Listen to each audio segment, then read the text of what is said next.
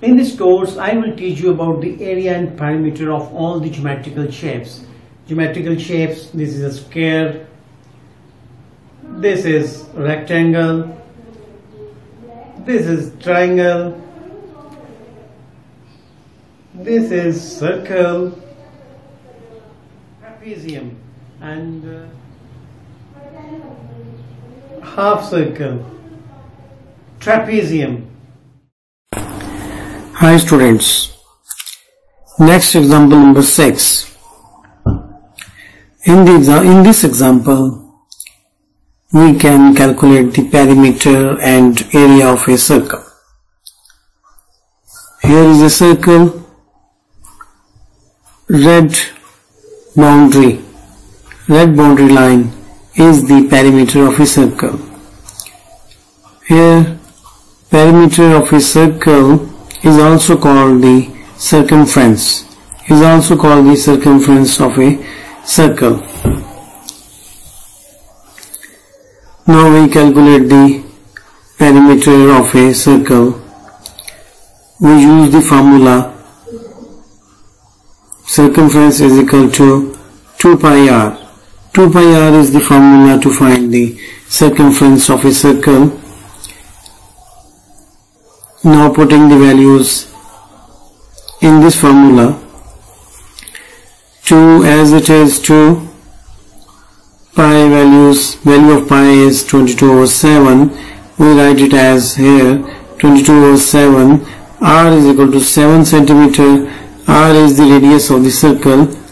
R is the radius of the circle. This is the radius which is equal to 7 centimeter. This a this length here this length is this length is the radius which is from center of the circle to the boundary to the boundary of the circle. This is called the radius. This is called the radius which is equal to 7 centimeter. We write it as now we cancel these 7 with 7 and uh, now 2 as it is 2 as it is and 22 say uh, 22 is also as it is. We multiply these two values we multiply these two values we get 44 centimeter 44 centimeter. This is the circumference of a circle which is equal to 44 centimeter.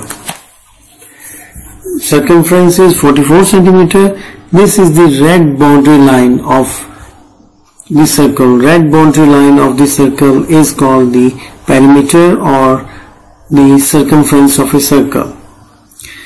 Here in this diagram now we calculate the area of a circle and this is the area of a circle.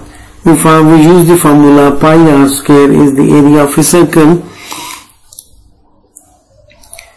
um, now we're putting the value of putting the value of y uh, pi which is equal to 22 over 7 and now we're putting the value of now we're putting the value of pi is equal to r square is equal to r square. Putting the values now we're putting the values of r square which is equal to 7 into 7 now put the value of r square.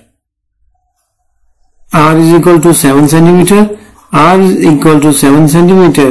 Therefore we write it as 7 into 7 because of a square.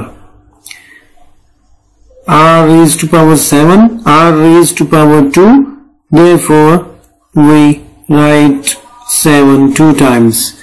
7 cancel with 7 7 cancel with this 7 and the remaining multiply the we multiply the remaining part. 7 into 20 we get 154 centimeter square. 154 centimeter square is the area of a circle. Area of a circle. And this is the green shaded area green shaded area.